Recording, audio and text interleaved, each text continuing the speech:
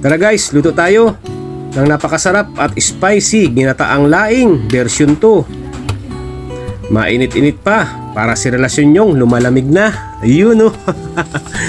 Pero bago yun, huwag niyo po sanang kalimutang mag-subscribe, mag-like, mag-share at pakihit na rin po yung ating notification bell para update po kayo sa susunod nating video. Yun guys, start na tayo. Pero bago yun, mag-intro muna tayo.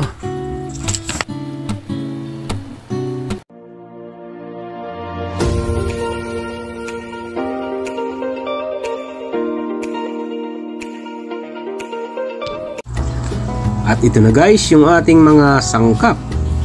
Sangkap-sangkap. Meron tayong isang plangga ng laing dito, yung katawan. Uh, merong laman at dahon. At bumili rin ako ng extra pang dahong tuyo. Mas masarap kasi pag may tuyo. Meron tayong dilis. Siling pula at siling berde. Mayroon din tayong luya, bawang at sibuyas. At meron tayong pork.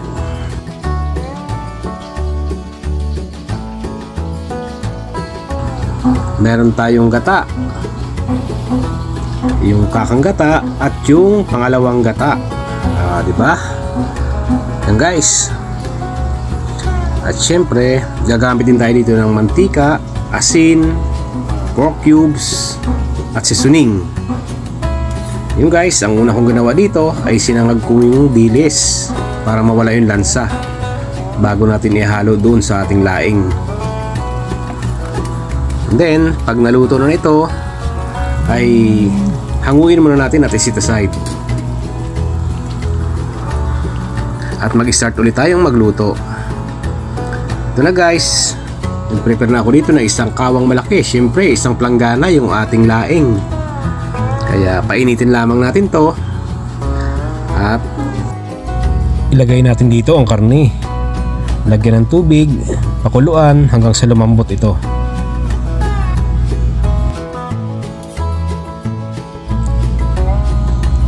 Yan, nalagyan na natin ng tubig.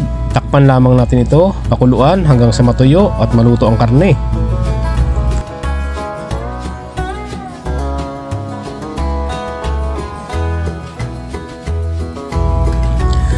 Kailangan lamang natin ditong halu-haluin upang hindi dumikit sa kawali yung karne. Diretso lang ang halo na to guys hanggang sa maging light brown ang kulay nito at lumabas ang mantika.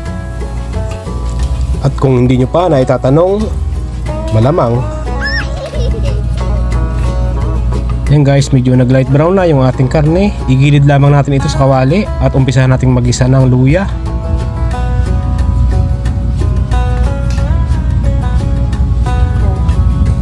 Lutuin lang natin maigi yung luya natin dito guys bago natin isunod yung ating sibuyas at bawang.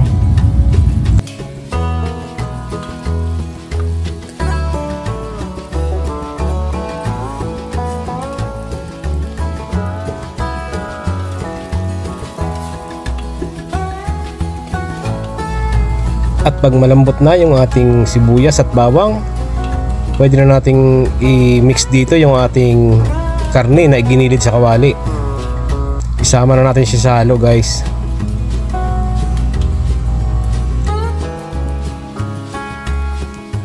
At sa pagkakataong ito guys ay pwede na natin ilagay dito yung ating isang plangganang laing. Ayan yung mga tangkay laman at dahon. Pati na rin yung ating tuyong dahon na binili. Nugasan ko lang na mabuti sapagkat malikabok ito pag binibilad sa araw. Ayan guys.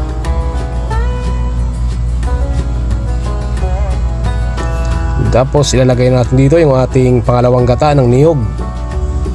Siyang pinakatubig guys. Siya ang magpapalambot dito sa ating laing.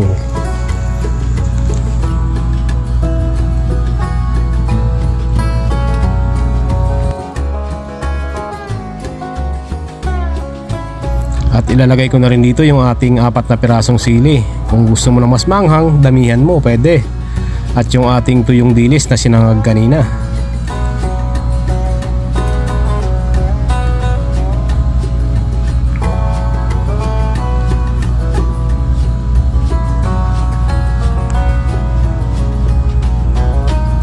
Ganun din, lagyan natin ng patis. Para sa ating pampalasa. At yung ating pork cubes. Para mas malinamnam yung ating laing. At suka, siyempre maglalagay din tayo. Tansya lang guys, para hindi umasim ng gusto. Tapos takpan natin to pakuluan hanggang sa lumambot yung ating laing.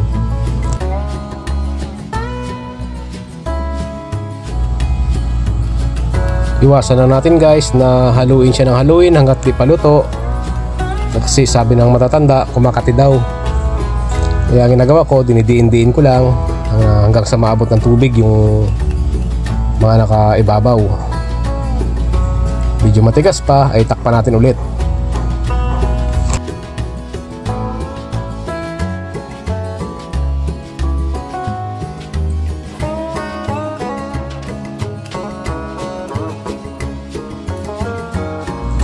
At sa pagkakataong ito guys, malambot na yung ating laing at medyo natuyo na rin yung sabaw na inilagay natin kanina, yung pangalawang gata. At ready na ito para ilagay yung ating kakang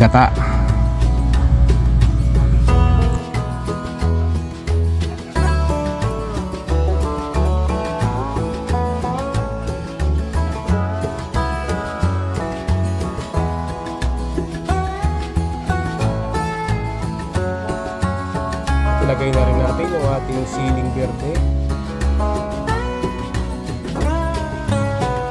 Kunting asin.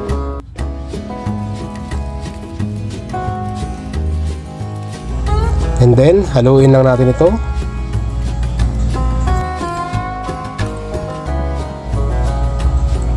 Ayan, kung napapansin nyo guys, napakaganda ng texture ng ating laing. Napakalapot ng kataan nito. Siguradong papaparami tayo ng kanin na to. Sarap to guys, tapos mainit-init at maanghang-anghang. Tibag ang bahaw.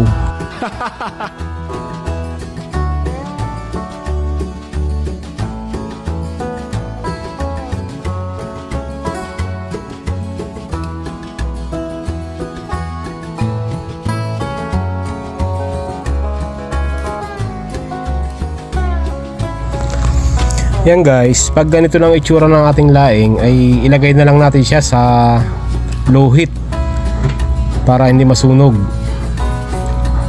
Lutuin natin yung gatas sa mahinang apoy lamang. At halos luto na yung ating ginataang laing. Maya maya lang ay ready na to para iserve guys.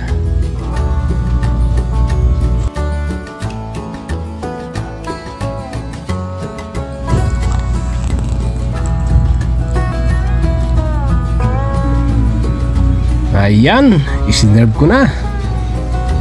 Shoutout po pala sa mga subscriber natin dyan, sa mga walang sawang sumusuporta dyan sa channel ko.